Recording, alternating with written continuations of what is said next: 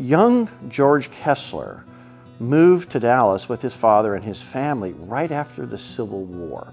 He was a German immigrant. He had two kind of encounters first in his youth coming from Germany with his father who was trying to find fortune in the new world, bounced around and ultimately settled in Dallas. His father tried some businesses, expired, and then his mother took him back to the old world where he got an incredible education in the great gardens of the world, and then he came back. He came back after being re-educated in the old world to return to the new world and become what was then known as a landscape architect.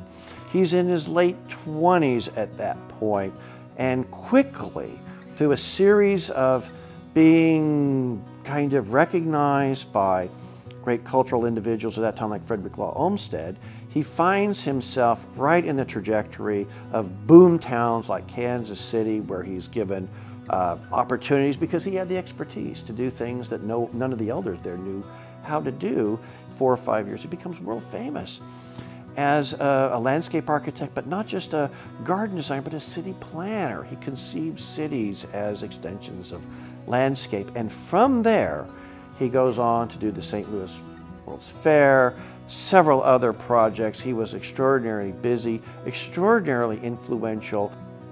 What Kessler found a way to do through his very eclectic, idiosyncratic education is he turned himself into a new kind of urban planner where landscape and nature drove his street and boulevard networks. But he used his knowledge of great gardens and uh, uh, cultural landscapes to drive urban form in a way that heretofore had never been really uh, conceived. Dallas, he, he faced a wild frontier town that he was attempting to civilize with planning and public landscape architecture.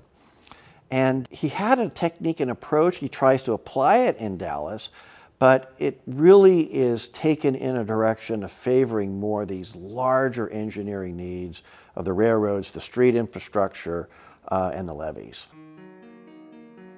When one takes the entire Kessler plan into consideration, it becomes more than just a plan. It becomes um, a real tome of why history is important. This is why institutions and agencies such as the Dallas Historical Society are so important. They are much more than entities that just, you know, romance the past. They actually keep history alive as something relevant and important to what we're doing today. This is why Kessler is really important. He produced ideas that were beautiful and resilient and if not indestructible, all in the same gesture. What Kessler produced were places of such elegant and serene simplicity they compel people to attach themselves and their emotions and their state of mind to them. And so in a fully realized uh, uh, Kessler space, like in, in Dallas, we have uh, Turtle Creek is probably the best example. And uh, in some respects, some of the areas over Oak Cliff, which he just touched and were just barely materialized in and around the bluff of Kessler, we, we still see why he saw those places as being very important and as tomes that would touch people very deeply. And so there's, there's, there's a lot of layers to, to Mr. Kessler that we should be interested in. But the most important one was ultimately his work. Uh, because that's what we're living with, that's the legacy he left us, and these spaces continue and they endure.